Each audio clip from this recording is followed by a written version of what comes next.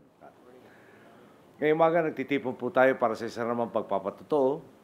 Iiwan nating mas maganda at mas panatag ang Pilipinas kaysa ating dinatan.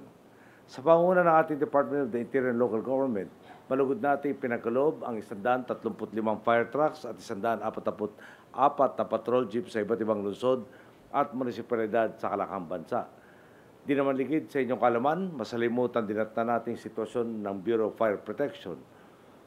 Nakita naman nyo kanina, yung mga fire truck na halos kasing tanda namin ni Bistek, yung iba mas matanda sa amin. No. Dahil sa pagpapabaya ng ating sinundan at paglilis sa interes ng, ng taong bayan, tila nakaligtaan ng mga pangangailangan ng inyong mga ahensya. At kung nag-iisip po yung BGMP, pagkaintindi ko po, meron rin mga project para sa BGMP. Kulang na nga ang fire trucks, karamihan pa sa mga tangan natin lumang-luma kakarag-karag. Siyempre, dulot ito, palyadong serbisyo na higit na nailalapit sa peligro ang ating mga boss, pati na ang ating mga bombero. Kaya po, nang po tayo sa pwesto, agad natin aksyonan ito sa panguna noon ng namayapat dating DILG Secretary Jesse Bredo sa pagtutuloy ng maasahan at mabuti pamamahala ni Secretary Maroas. At ngayon ni Secretary Mel Sarmiento talagang pinag-aralan natin ang problema, hinanapan at pinaglaanan nito ng sapat na pondo at pinadaan sa bidding at tamang proseso. Ngayon po, malinaw resulta. Mula Hulyo 2010 hanggang Disyembre 2015. So matutal po, 561 fire trucks na ang naprocure natin sa halagang 4.25 billion pesos. Dahil dito, lahat ng lungsod, lahat ng lungsod sa buong Pilipinas, meron ng di bababa sa isang fire truck. Sa 1,489 na mga munisipalidad sa bansa, pagkatapos natin mayandog ang mga bagong sasakyan ito, 1,194 na magkakaroon ng bagong fire truck. Ngayong taon, layon pa natin makakuha ng dagdag na 369 na mga fire truck. 293 nito para punuan ang kakulungan sa mga munisipalidad. 76 naman ang para sa malungsod at pangunahing munisipalidad ng bawat probinsya. Kung saan may pagkakalob natin ay ang Rosenbauer brand na fire truck. So ang tinuturing ng Mercedes-Benz sa mga fire truck. Ang tanong, anong pagbabago ba ang dala nito mga bago nating fire trucks? Una, water tank nito gawa sa stainless steel at may kapasidad na magkarga ng 3,800 liters na tubig na lampas sa minimum requirement na 3,785.41 liters o nabanggit nga kanina sa akin ni Bistek, the equivalent of 1,000 gallons. Ang water monitor pinaunlad din abot na sa hanggang labing dalawang palapag na gusali ang tubig na kaya nitong ibuga. At kung dati desabit ang ilang bombero sa truck at takaw disgrasya, ngayon may cabin na ito na kasya ang hanggang pitong bombero at nagawa pa nilang pa-aircon ang cabin na ito. Pinakamahalaga, response time mula sa oras na mapagbiga alam ang sunog na dati inaabot raw ng 12 minuto lalo sa hindi matraffic na lugar ngayon nakakalahati na o makakalahati sa 6 na minuto. Tandaan po natin nung araw na 12 minutong yon sandaling umandar at tumakbo yung lumang sasakyan. Pag hindi umandar, pag tinulak, siyempre mas matagal bago babot ang ating fire truck. Naalala ko rin po, isang kwento, nung ako'y nasa kongreso pa, kausap natin mga bombero na, na tayo mismo naka, naging saksi sa pagpapatay ng sa sunog. Nakita namin po na napakapal ng usok.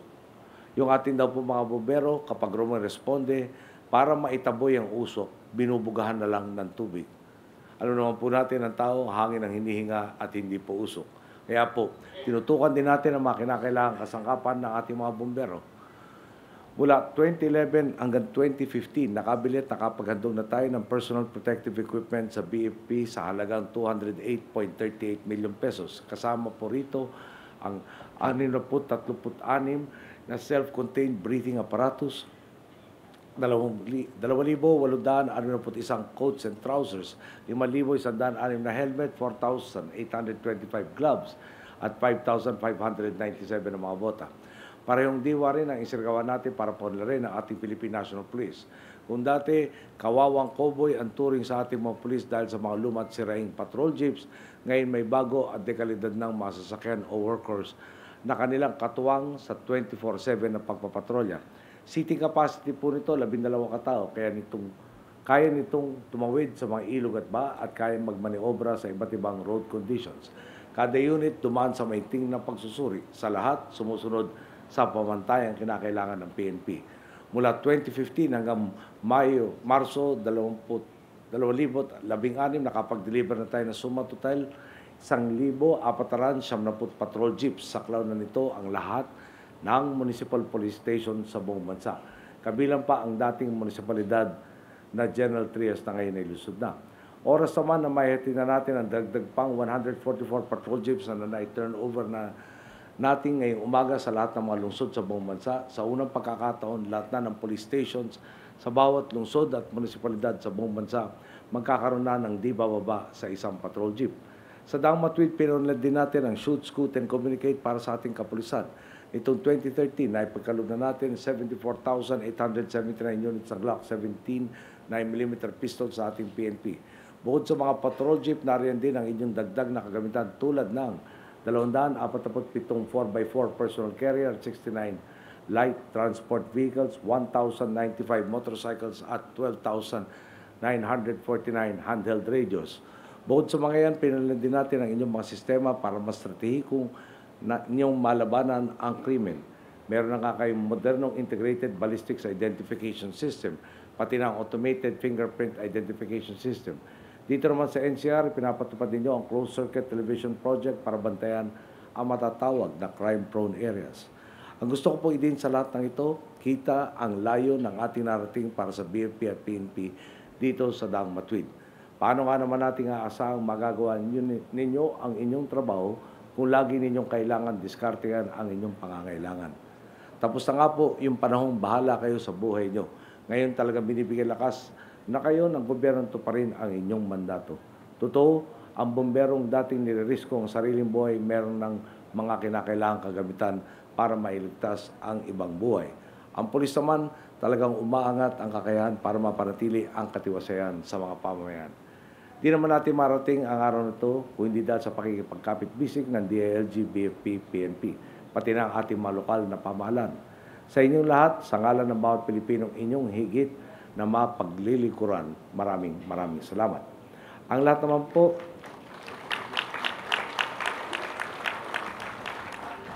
Ang lahat naman po ng inisyatibang ito sa Dang Matwid nakasandig sa malawakan nating estratehiya upang bigyan lakas ang ating mga kawal at lingkod bayan. Sa makaragdagan sa sakyan tangan ninyo, inaasang higit pa ninyong magagampanan ang mandatong pangalagaan ang kapakanan at kaligtasan ng sambayanan. Mga boss, ito po ang Dang Matwid, walang shortcut, walang tompats, walang bara-bara. Ang pagtugon natin sa problema ng lipunan, tukoy, pinag-aralan, sumunod sa tamang proseso at sistema, at higit sa lahat nakatuon lang sa kapakanan ng taong bayan. Sa loob lang ng higit limang taon na itaguhin na natin sa ating uniformadong hanay ang kultura kung saan sa tuwing isusot ninyo ang inyong uniforme, sa tuwing gagamitin ninyo ang inyong mga bagong kagamitan at sasakay sa inyong mga modernong sasakyan, buong loob at buong lakas ninyong pagsisilbihan ng bayan dahil mulat kayong kabilang kayo sa isang lipunang handaring pangalagaan ang inyong kapakanan. Narito na nga tayo sa panahon kung saan taas nun ninyong masasabi ko sa sambayanan. Bombero ako, pulis ako, naglilikod ako sa kapwa Pilipino. Makasama, simula pa lang ito, tuloy natin ang pinagsisikapan nating pagbabago. Bago po tayo magtapos, para liwanagin lang po natin at baka may tatanong, bakit nga umabot na mas matanda sa amin ni Bistek yung mga fire truck? No. Alam mo nyo, yung ating po sinundan, namili raw ho ng isang daang unit ng fire truck.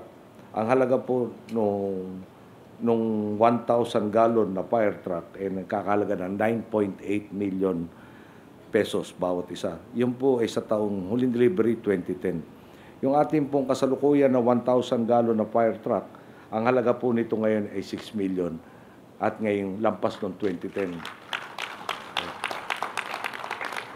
Baka ho ipaliwanag nila na yung dati raw mga truck, yung fire truck nila, merong makina ng dibomba pang agrikultura.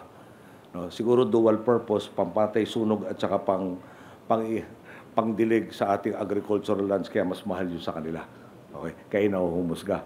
Liti ko lang ho, sana pakiusap natin sa mga member nating kapulisan at ng Bureau of Fire Protection, no? Nakita naman po niyo ang kalinga ng estado, ng sambayanan pakita naman natin sa serbisyo para lalong dumali, lalo pang may, maibigay ang mga dagdag pa niyong pangangailangan. Magandang araw po, maraming salamat sa inyo. Thank